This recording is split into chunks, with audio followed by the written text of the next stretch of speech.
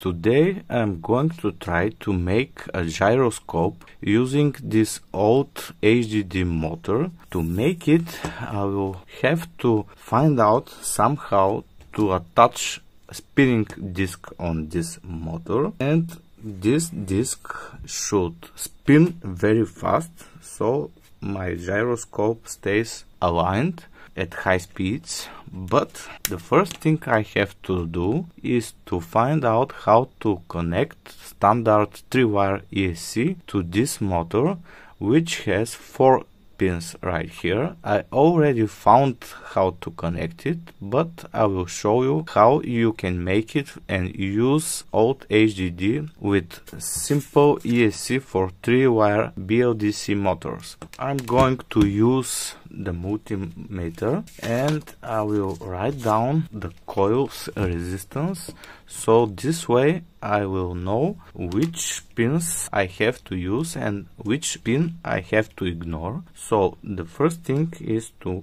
start measuring from left to right. Here I have 1.8 ohms resistance. Here I have my four pins. 1.8 ohms resistance. The next pair has a total resistance of 4.1 ohms. And the next pair has the same resistance 4.1 ohms.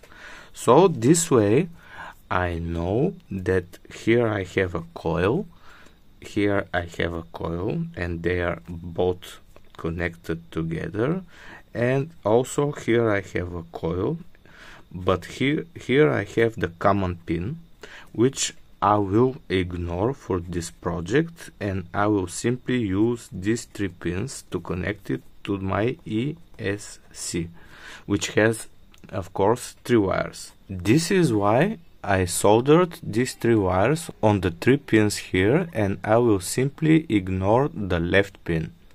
Next thing to do is to find out what kind of a disk I can attach here. I don't want to use the disk from the HDD.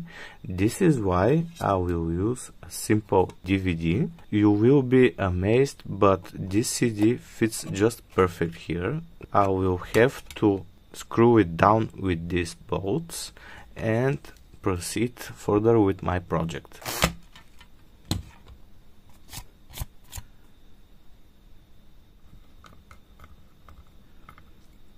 Now I will have to attach this to my gyroscope, power it and see if it's going to work.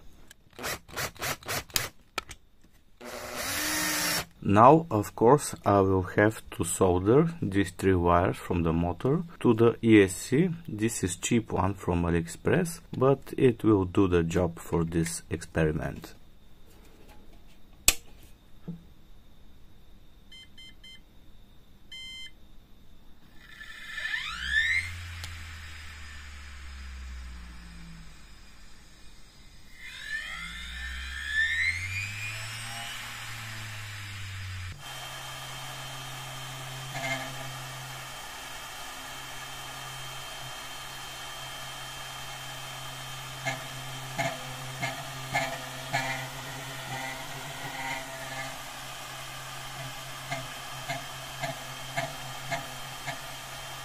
So friends, as a conclusion, it works, but it's not perfect of course. Please give it a like and see you again.